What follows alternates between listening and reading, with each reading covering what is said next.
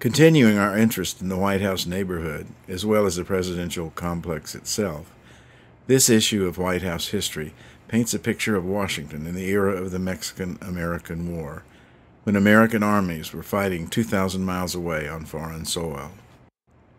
It was an interesting time in Washington.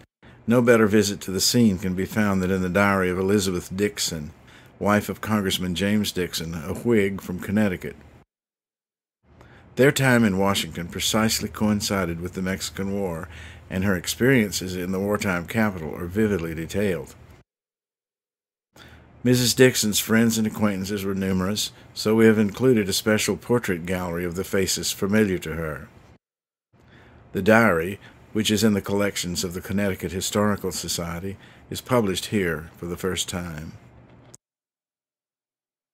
President James K. Polk and Mrs. Polk's tastes in symbols reflective of the president's achievements are seen in articles on a statue of Thomas Jefferson, a portrait of the earlier conquistador Cortez,